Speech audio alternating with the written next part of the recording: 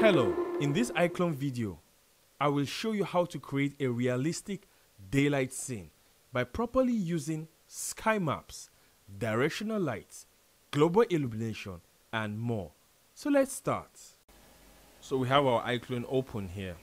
We always start with a blank scene.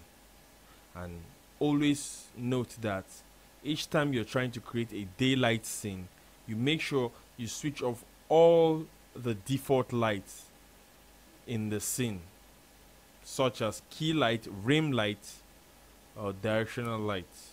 So first of all, what we do is you go to your content and under content you go to sets and under sets you go to sky and since we want to create a daylight scene a clear daylight scene we go for the clear day sky. So you just drag and drop. After you've dragged and drop then the next step we get our scene. And I'm, I'm, I'm using a desert scene. So you can go to your props and you drag and drop. But for my case I already have my scene in my scene prepared. So what I do is go to and I switch on my scene and as we have it here it's dark because there are no forms of light in the scene yet. So to lighten up this scene what do we do first? We go to our lights we go to our directional light. And how do you get to directional light? You can either come to create or under light. It shows you different types of light. But in this case since we are creating a daylight scene we will go to directional light. I have my directional light in the scene already so I will activate it.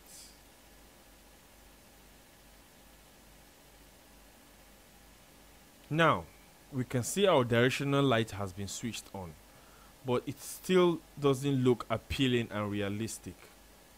So next step you go to global illumination. You go to global illumination.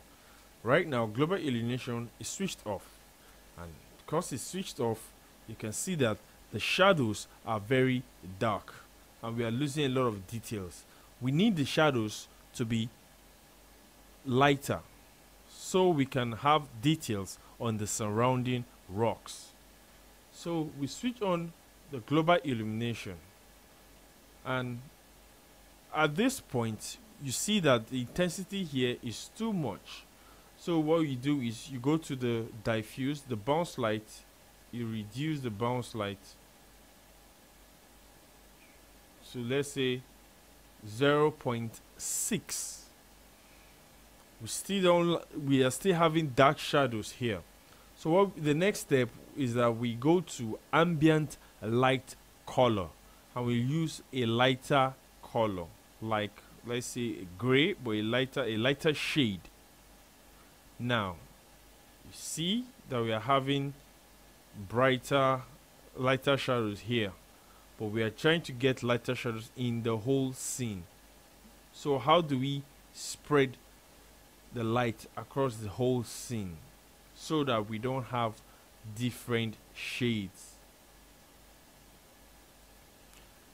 What we do is we go to the GI here. Under the GI we work we touch we work on the range and we increase the range. And now we see we've successfully eliminated the dark areas of the environment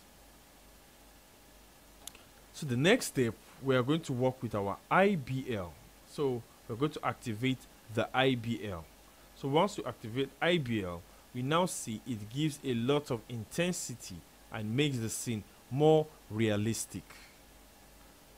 But in case if you feel that your scene is is too is losing details due to the intensity you can go back to the scene tab and you go to directional light. Once you click on directional light we can work on the multiplier and we can reduce the value of the multiplier from 6.20 to either 4.20 now we are now seeing that the intensity is dropping a little.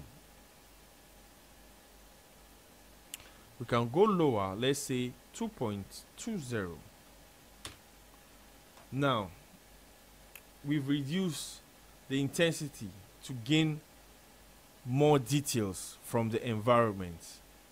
As you can see it's not too it's not too bright. It's just perfect for this type of scene we are trying to achieve. The next step is you can go to HDR HDR is to give you that atmospheric environmental realism. So we have our HDR here. All you do is just work with the values. You can change the values to your desired for what you want to desire.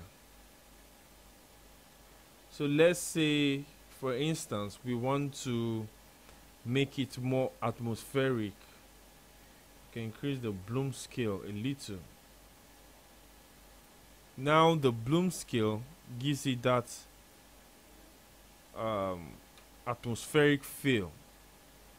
It looks organic.